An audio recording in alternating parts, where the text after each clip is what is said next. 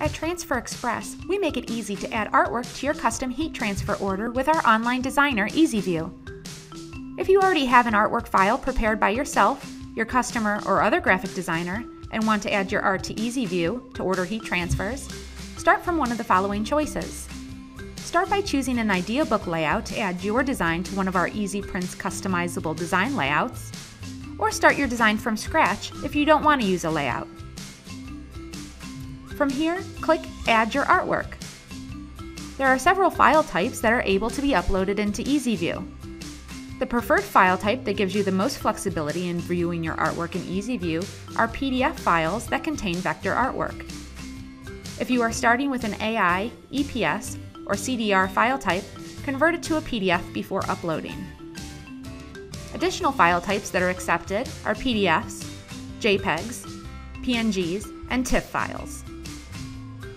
Keep in mind that these file types can be uploaded into EasyView but may not have a transparent background, and will need to be redrawn by one of our artists to create a vector file.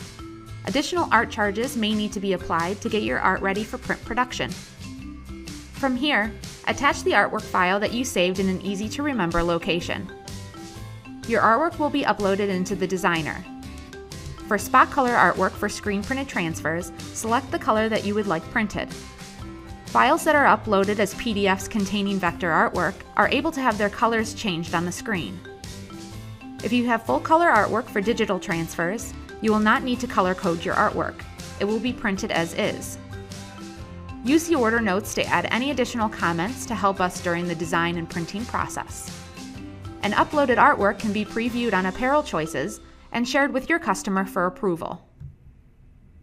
If you have any questions about uploading your artwork in EasyView, feel free to reach out to one of our dealer services team members at info at transferexpress.com or visit our Contact Us page on transferexpress.com.